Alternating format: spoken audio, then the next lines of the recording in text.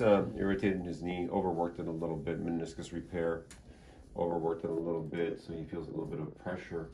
I just cleaned off the knee with with some alcohol. So this is the thing. This is called a effusion. You see the it's almost like a bubble right there.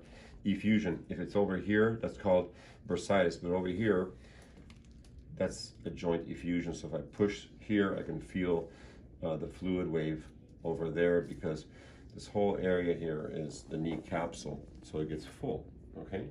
Yeah, you can see the effusion, and this is where people always notice. They say, hey doc, when I, when I bend my knee, I have a bump, and that's, and it's not, it's not a mass, it's just fluid. So, so what do we do? We can, just for comfort purposes, I'm going to aspirate it. Okay, aspiration means remove fluid. So I get everything ready here most important thing is landmarks. If you're going to do this, you have to know your landmarks, okay? Why don't you go like right over here, so it's a nice, so this is a landmark, see? This is the patella, the, the lateral border of the patella right there. Quadriceps tendon is right about there. Nice mobile patella, I'm gonna go underneath it. So I'm gonna find my spot right about there. So it's the upper pole of the patella, that's the mid patella, upper pole of patella, underneath. I can feel the patella right there, I'm gonna go underneath and I'm going to be aiming my needle sort of up a little bit to match uh, the angle of this patella. We don't want to go like this because it will hit the femur.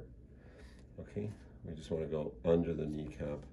And I have my ultrasound here as well as a backup. In, I make an indentation with the needle cap of the needle. And then I clean off the skin. I already cleaned it off with some alcohol, but just to be extra safe because we are dealing with a joint and if a joint space gets infected it becomes a terrible terrible terrible problem. So I do a double prep here with alcohol and betadine. There it is start in the middle go out okay? Then I I, I do um I do use a 27 gauge needle here to start it out. You can also use freeze spray. Un, un piquete muy chiquito okay? Mm -hmm. a little shake like that. So I'm actually in the joint. I can tell I'm in the joint because or the way it felt. Okay, I'm in the joint. I'm just gonna go like this. I'm gonna put a little bit on the skin, go back in there.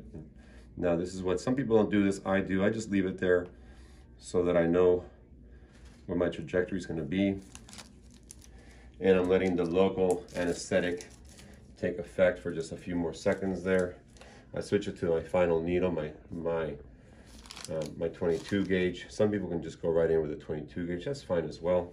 And this is what I like to do. I just follow the trajectory of that last of this needle. I don't lose sight of where I am. Put this down. Fíjate otra vez, okay? Mm -hmm. Okay, see. The shake distracts the patient.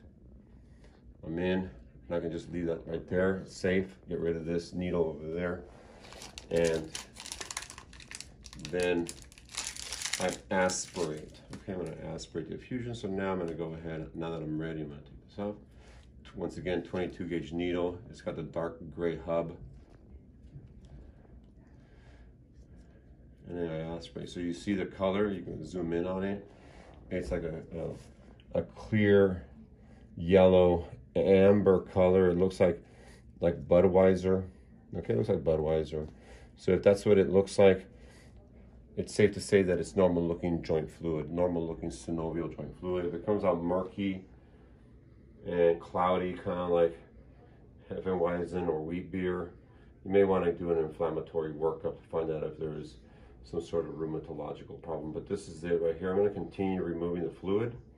I'm going to remove the fluid and then I'm going to check the patient in just a second. We're going to do a, a post aspiration exam really quick. Okay, yeah. all right, so I just finished removing the the effusion. This last one has a little bit of a, of a, a, tint or a blush, and that's because of the, the bleeding that occurs sometimes towards the end. And Band-Aid, okay, lift them up a teeny bit. Let's get this out of the way. ¿Puede doblar rodilla, por favor, Okay. Okay.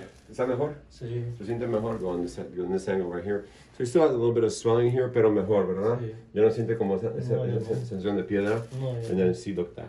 Oh, and then you can straighten it out like this. You don't have that fullness. So in this particular case, this is not an this isn't an arthritic effusion. Oh, this is just a post-surgical, just a post-surgical uh, swelling that occurs just from overuse. This is Dr. Mora. Hopefully, uh, ortho family, you guys uh, uh, learned something about knee effusions. When they're done properly, they don't hurt, and that's the most important message. Is number one, do it properly, do it sterilely to prevent a, a complication, and do it right so that you don't hurt the patient. Thank you.